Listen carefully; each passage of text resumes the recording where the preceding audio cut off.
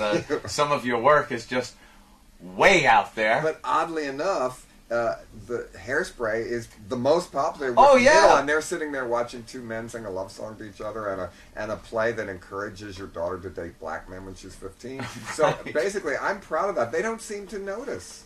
No, they sit there no. watching. They yeah, they don't seem to really grasp what the the story is, is about that's going on and how awful they should feel about it. Well, that's good. Maybe I tricked them into it. That's the way You you, get people to change their opinion is make them laugh. How did you get Divine to eat dog shit at the end of Oh, I'm, I wish I could Famous. tell a new version Yeah. of it. Yeah. I, it basically, it was. If it's anything scary about that day, it was no big deal to us. Really? We were on pot, and basically, it was in the script, and Divine said, "Sure, I'll do it." And I'm Yeah. not a sadist. It was one take, and you see, there's no cuts in it. And it, Johnny Knoxville would have done it today, don't you think?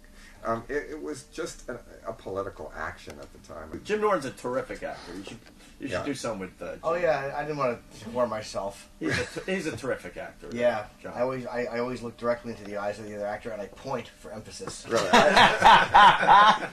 I, I think the best way to ever have an audition is to be able to pass a lie detector test, which Divine did for shoplifting once, and I thought, wow, that's really, and he did do it. No kidding. And so, if you're guilty, and see if you can pass a lie detector test, isn't that the best acting audition? I sucked at shop. As a I kid, was I would do it, but I- I were you good? Yeah, I even once was shoplifting, and I saw the store detective see me, and I put it back, and they didn't see me, and she arrested me outside, and I sued and got four thousand dollars.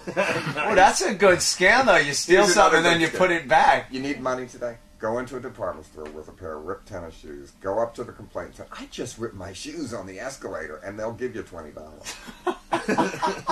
You were a fan of Mondo Topless?